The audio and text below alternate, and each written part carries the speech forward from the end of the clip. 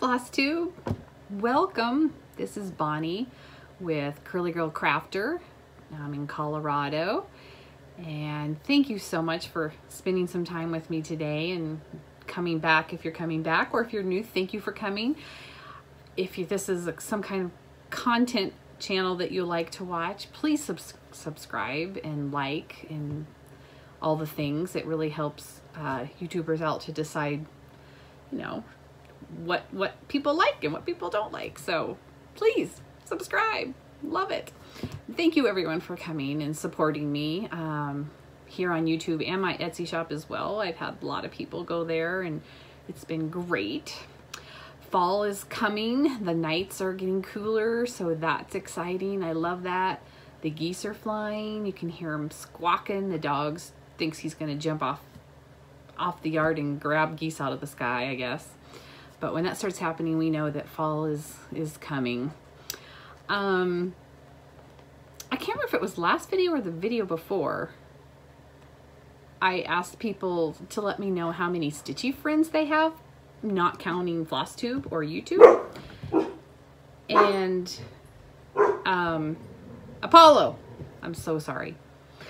Um, and so it was really interesting people's response. Most people don't know beyond like two three or four people that actually cross stitch beyond floss tube. There were a couple exceptions of people that said oh i have tons of stitchy friends. I've been stitching for 50 years. And um, one lady's like i'm 80 i i you know have a couple friends that stitch. And but most people only had a couple people that they knew. So that, that was really interesting so I guess I'm pretty much in the norm, just like a lot of people. Um, okay, let's get in. I have lots of cross stitching to share, uh, a couple starts, uh, a finish, which I'm pretty excited about. And uh, I have some, I have a previous wool finish to share, a little bit of haul for everything. And I have a quilt finished, and I have a previous finish to share with you on that and some plans for quilting as well and a little bit of quilting haul as well. So I have lots to share. Oh, but first, the first thing I want to share, the first haul I have is I have an obsession with old sewing machines, vintage sewing machines. And so this is my latest acquisition. Isn't she so pretty? She's pink. I just love her. I I don't even know if she works. I've had her for like three weeks. I forgot to show her to you guys last time. Um,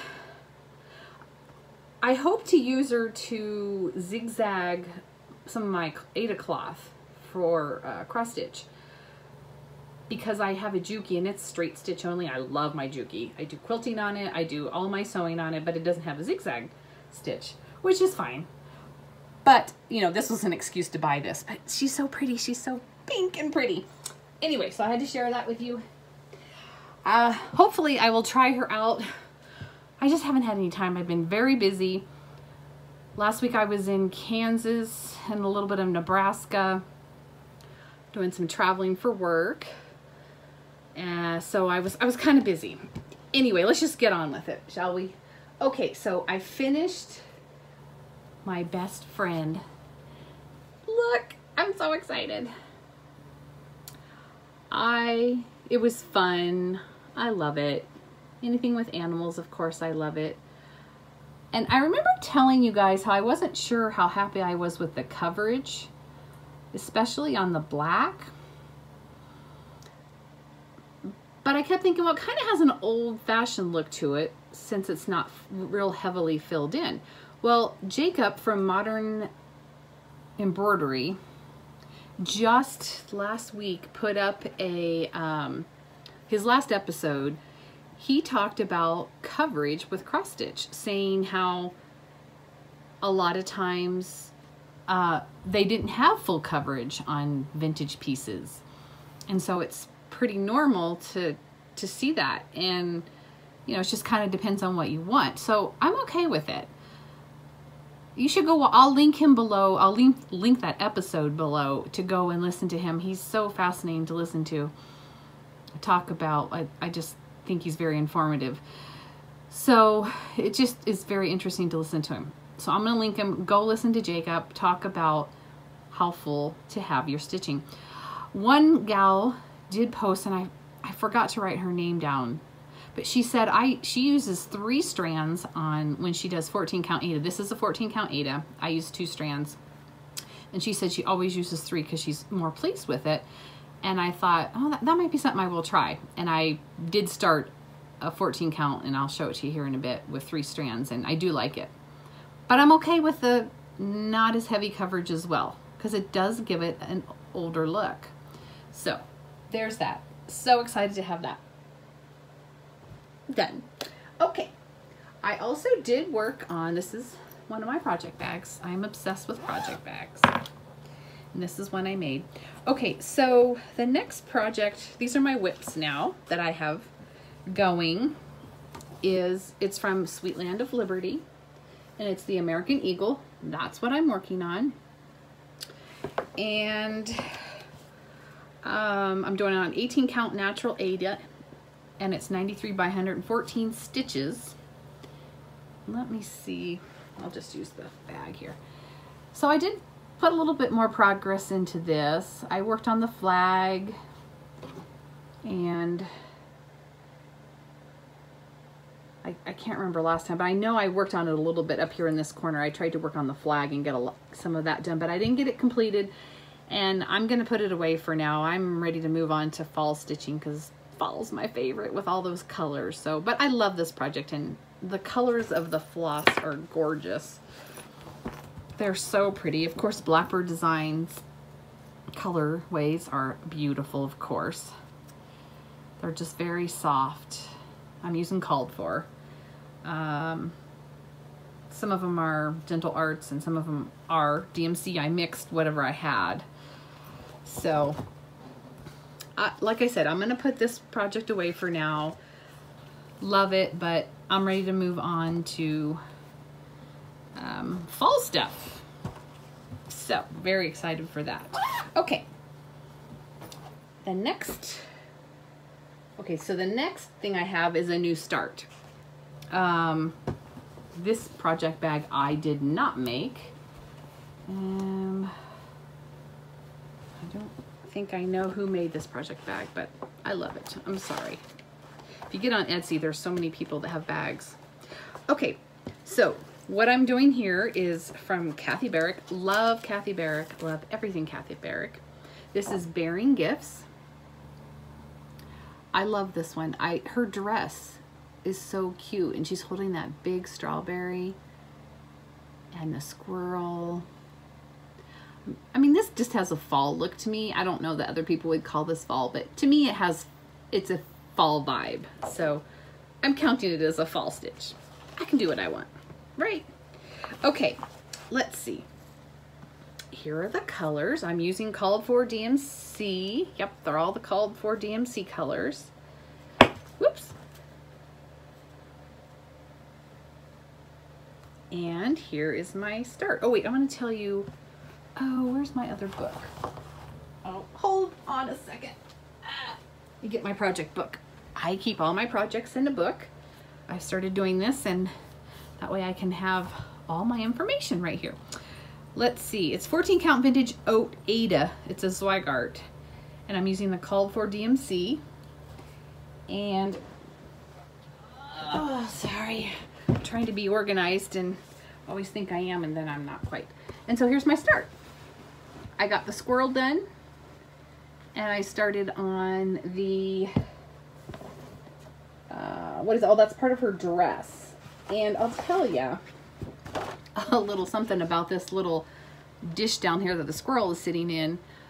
It's, I made a mistake. The pedestal is not evenly on the dish.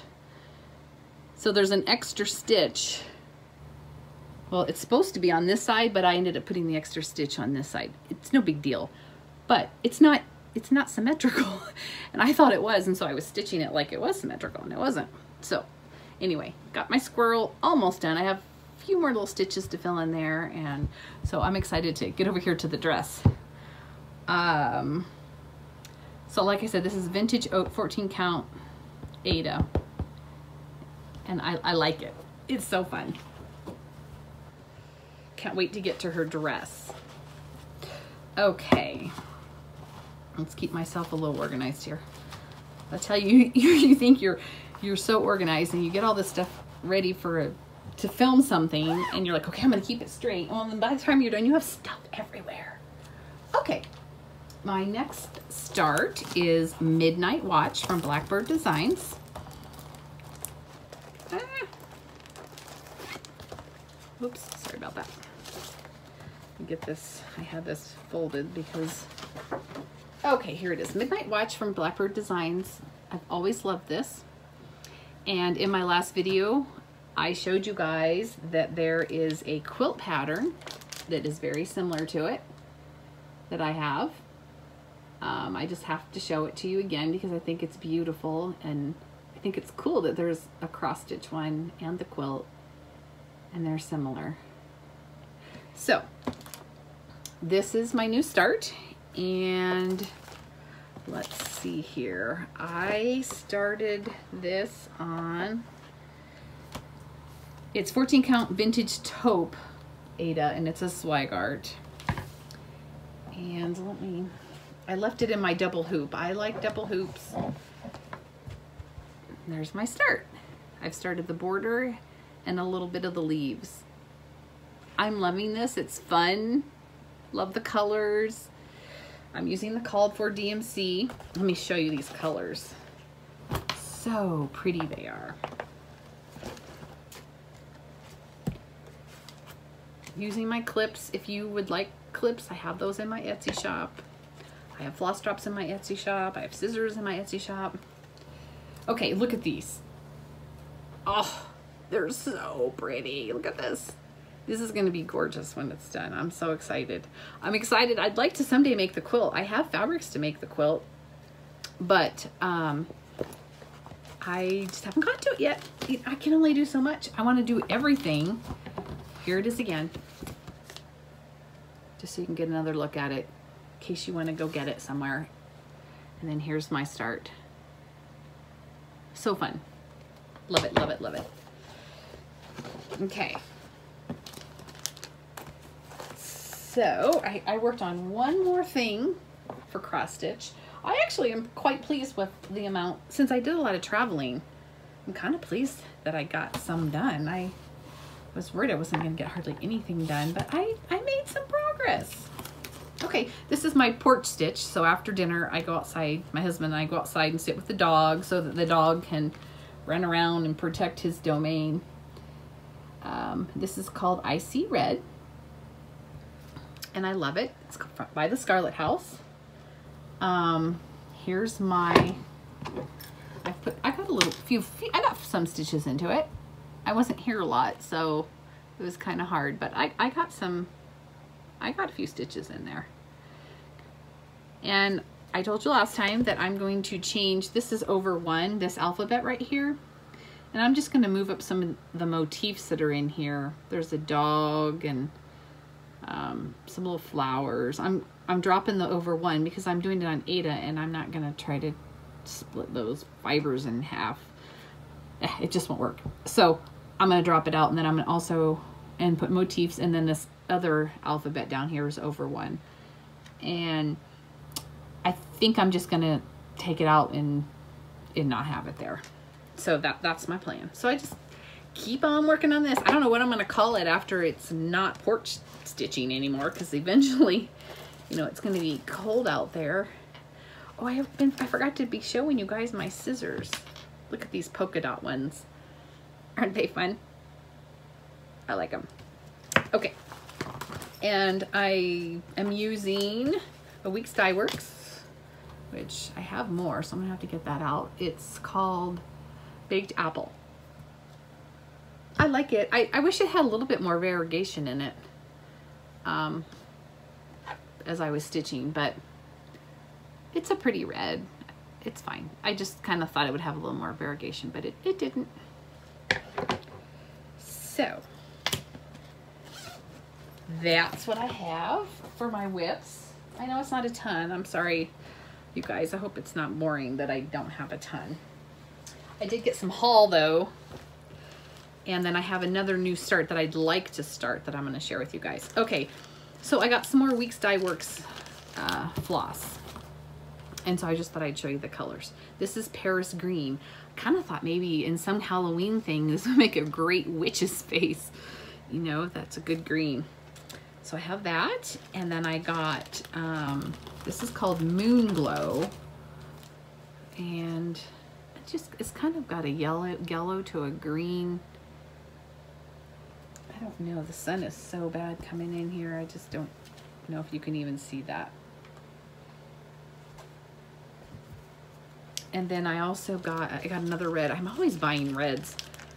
See, this one has a little bit more variegation to it, I think. This is Lancaster red. So it's pretty as well. I do like it. So I picked those up. I ordered them online. And then I also ordered, and I know you guys all have heard of all of these. So this, and, the, and I'll tell you the reason I got these. So this is Mary Clayton from Hands Across the Sea. I got this. It's beautiful. The colors in it are so pretty. I love these reproduction samplers that they reproduce um, from original ones. I think that's really neat. This gal was nine years old, so that in itself, I went for the ones for the young girls because I just thought I thought they were amazing. So this gal was nine, Mary Clayton, very excited to uh, start that someday. Got a bookmark with it. Love it. Of course, what don't I love? Got that one. And then I got um, Caroline Page, her little red work sampler, and she's age eight. I love that there's history in these too about the girls, anything that um, they have found about the original Stitcher, which I think is really fun. So I got, I got Carolyn Page, Caroline Page, 1832. She was eight. Now this next one, I, I know you guys have all heard of her, Rosa Sugars from 1881. She was four. Are you kidding me? Four. Like, I can't even do that good of a job. Like, mapping out my own thing. I don't know. I Maybe she had some help. I don't know. But I haven't read the history yet on here to see. But I was so excited. I just think it's... I just got these because of their age. I thought they were amazing. So I had to have those. And then I've been slowly trying to collect all the Hawk Run Hollow charts. And the one I got this last couple weeks was uh, Christmas at Hawk Run Hollow, which I don't think it's real popular, but I think it's really fun. Look at this, the ice skating rink. And the peacock is kind of fun. I wouldn't mind starting this one soon. I like this one says Happy New Year on it with the sailboat. So I got that. Oh, and then this one is called uh, Quake. It's from Quaker. It's called Quaker Fantasies by Ari TM, and it's Peter Pan version. But it's so fun. I ordered the Cinderella one, but she was out of stock. So I'm to have to go back and look for that one.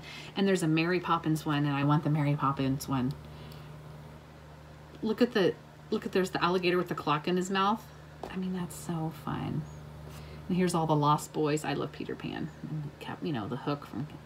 And here's Peter Pan's feet and Wendy's feet. So I, I love it. Got that one. And then I got a Prairie Schooler one. I don't have very many Prairie Schooler ones, but I'm slowly collecting some of them. This one's called Santa Rides. But look at the Santa Rides. This is so cute. This would make great little ornaments. It's Santa on different uh, modes of transportation, basically. I mean, the hot air balloon, the train. I love this one over here with pine trees in the background. And on a, a sailboat. It's so cute. Love that one. Okay, so I got that.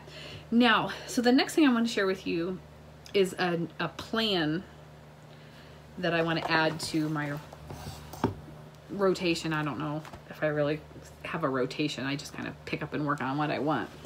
I want to do, so my friend Yvonne, she heard that I was doing the, um, move this out of here the other Blackbird design, what is it called?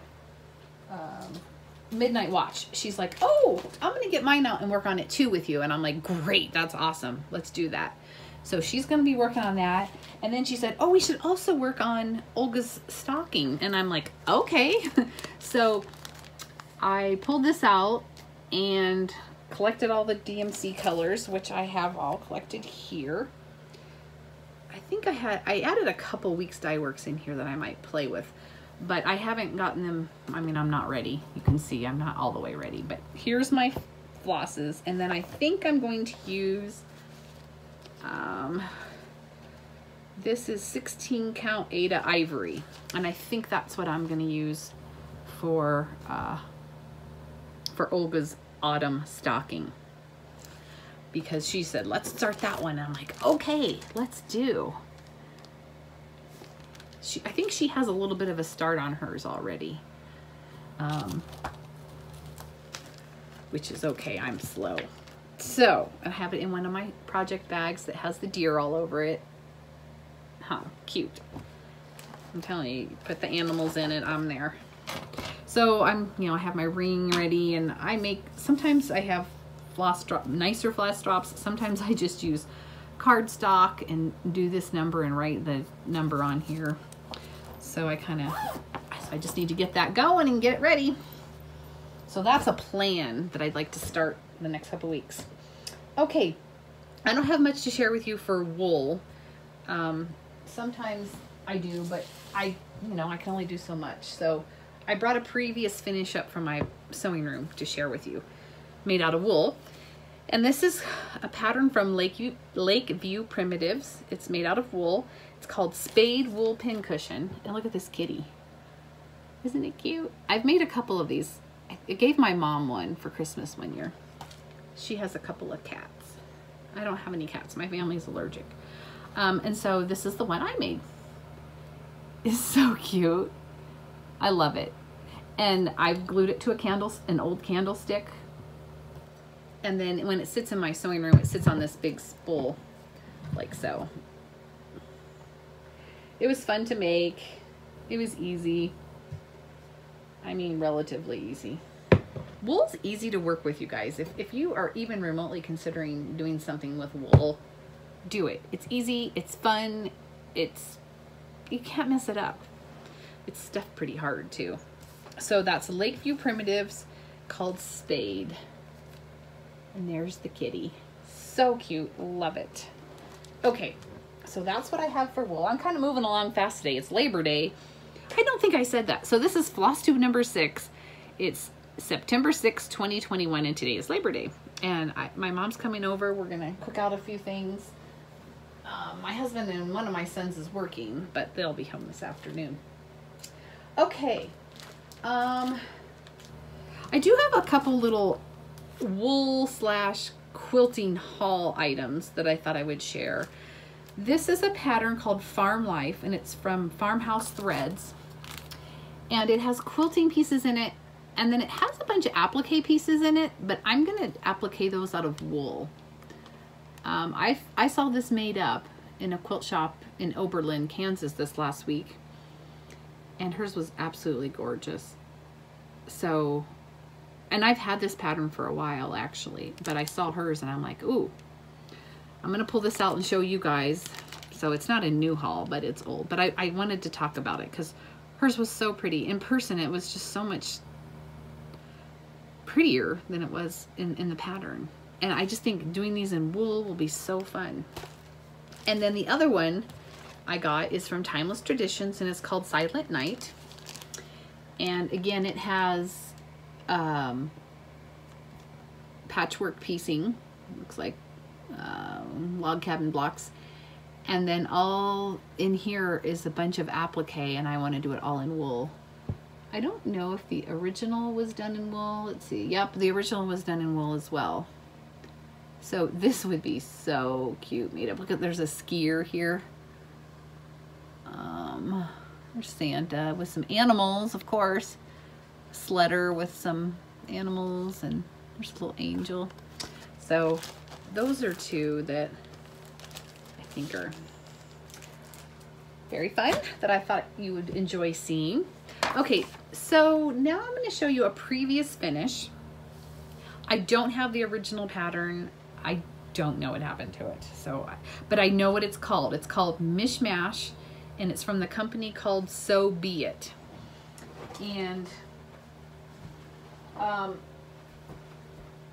I made this. I mean, I've made this quite a while ago, but it's kind of got a fall look feel to it. So I thought I would share it. Here it is. It's made with taupes and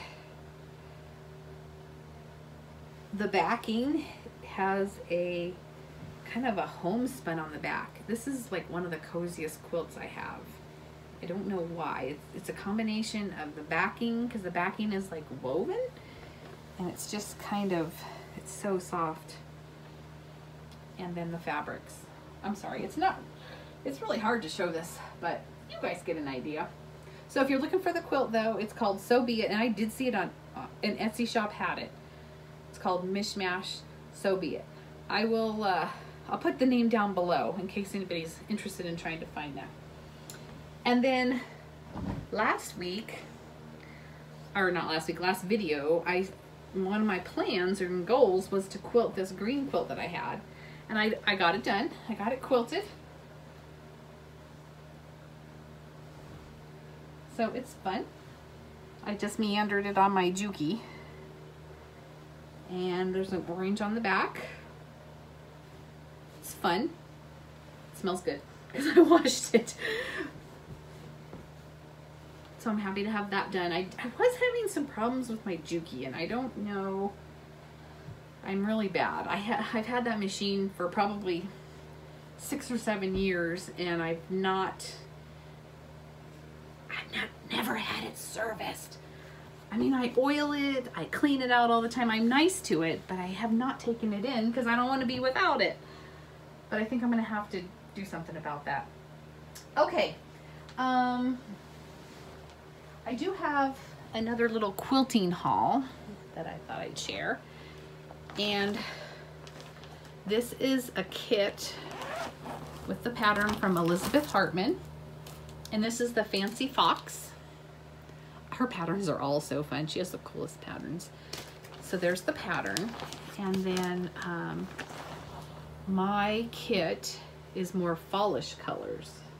So all my fox are going to be all these oranges and reds. And then the, the background is this Tweedy um, Essex from Robert Kaufman. It's a kind of a woven linen type thing. So that's the background and these are all the colors on my fox There's the pattern again. So I think that'll be fun for kind of a fall. I like orange a lot. There's like some melony and some red in here. So pretty. So I got that. I, it's I'm not gonna make it anytime soon, but but I collected it soon. I'm telling you though, if you don't collect things you see that you like, you miss out. Especially for quilting, because fabric Fabric goes away. Well, these are solids, so that's all good, but fabric goes away and you don't see it again. Very rarely anyway. Okay, so that was a haul. Um, I do have another haul. Oh, let me grab this. So at one of the quilt shops I was at this last week in, um, well, this shop was in Nebraska. Cozad, Nebraska. Nebraska. Prairie Point Junction. Love her shop. She has wool and she has um, cottons. But I picked up these and I know some of y'all have seen some of these. I'm to show these to you. So this one is stamps and there's, they have this stamp. I'm to make, of course I'm to make project bags out of these. They had stamps in all different colors, and they had a multicolored one, but I, I liked this kind of turquoisey, greeny blue color. So I got that. I got, remember when we used to weave um, gum wrappers together? I thought that would make a fun project bag because I don't have enough project bags. I'm all about the project bags, you guys. Let's see, and I, and I know, I think Brenda, the serial starter, had a project bag. Somebody did had a project bag made out of this fabulous print. Like, oh, this is so fun. So fun. So I'm excited to have make a bag out of this. I know, I, I think it's so cool. And then the other piece I got from the same collection is this. It's like it's like old advertisements. I mean, there's stamps and there's um, some old pictures on it actually, some old black and white pictures. I just think it's really fun. Here's the other side of that. So hopefully I'll be making some pro more project bags. And I have one more piece. I picked up a Lori Holt, her new stitch piece um, that just came out recently actually. So it looks like cross stitch on here. Well, just, you know, it has the look of cross stitch. So I thought that would make fun project bags too. Okay, so that is another little haul. And then, so plans. Okay, here's a couple plans I have. I project bags, obviously. And I just thought I'd show you. This is my stack of project bags that I have been working on this past couple weeks. Man, that's so bright in here. I'm gonna start filming way earlier than I have been. Uh, so I have these all stacked up, pre-cut, kind of ready to go. I need some vinyl. Um, I just haven't gone to get it. I just haven't had time. And and I'm also waiting on some zippers that I ordered. So I did finally get that order placed. So I need to get those finished up. And then I have, I probably have about I counted them the other night. There's about 40 quilt tops that I have that need to be quilted. And so you guys have really inspired me and I I've been trying to thumbnail. I've been trying to um, pull these out. You guys encourage me to get something done. So hope I'm hoping to quilt to quilt at least once a month hopefully two, but we'll see how that goes. Okay, so this pattern is sunflowers, very fallish. This is so fun. Um, it's by Primitive Pieces by Lynda. The pattern is still available on her website. Matter of fact, when you pull up patterns, it's the first pattern that comes up on her patterns. It's called um, Auntie Beans Stalks is what it's called. And this is fun to collect fabrics for. It was fun to sew. Uh, I'll link her below in case you're interested in obtaining this pattern if you are a quilter or if you just collect patterns because sometimes I feel like I'm just a collector. So I'm hoping to get this quilted over the next couple weeks. I'm hoping my sewing machine is gonna straighten out and not have a problem. Otherwise, it's not gonna be good. This is my back. This is like a brushed, uh, brushed cotton. It's very soft and looks real pretty with it. So those are my plans. Okay, thank you everyone for joining me. Um, please like and subscribe. Really appreciate that. Comment. Um, I don't know. Let me know. Isn't fall everyone's favorite time of year? It's mine. If it's not your favorite time of year, let us know what your favorite time of year is. I like Christmas too, but as soon as Christmas is over, I'm ready for winter to be done. I'm, I'm done. I'm over it. Um, thanks for joining me, and I guess I don't have anything else to say. I feel like I'm forgetting something big. I, I let me look at my notes. I guess not. Thanks for joining me, and everyone be kind to each other and be kind to yourself. It's a rough world we live in, but we can make it better. Thanks, guys. Bye.